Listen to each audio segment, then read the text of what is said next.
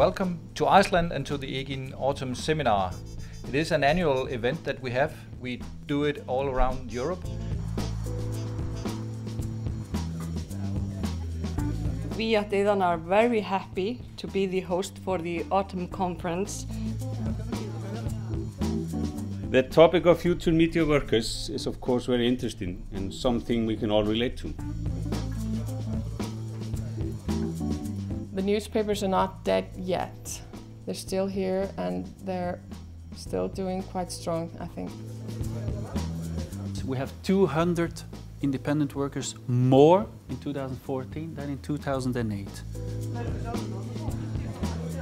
This is where the magic happens. I really think we need to plant this more than we do today. When we talk about future skills uh, needed in the industry, bear in mind that only 22% realizes that change is necessary.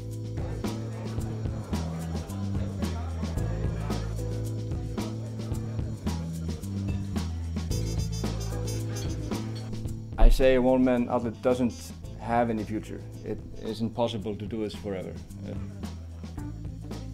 We're targeting mainly our customers, their friends, their families, and we're building a village. If a person has a thousand true fans, they can make a living from that.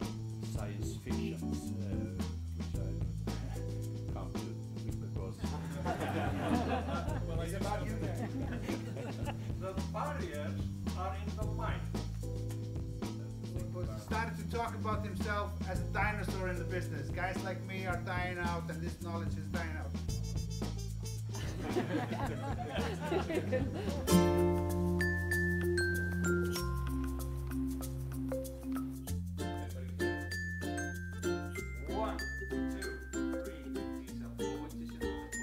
How do you see us as humanity in the future? How is it going to be in 25 years?